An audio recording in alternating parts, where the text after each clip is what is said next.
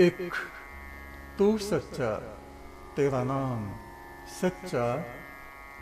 आत्मौ पम्येन सर्वत्र समम पश्यति यो मुने। सुखम वा यदि वा दुखम स योगी परमो मतः। जो पुरुष अपने शरीर के समान ही दूसरों के शरीर और मन के सुख दुख को मानता है ऋषि और मुनिगण उसको सब योगियों में परम उत्तम मानते हैं। एक तू सच्चा, तेरा नाम सच्चा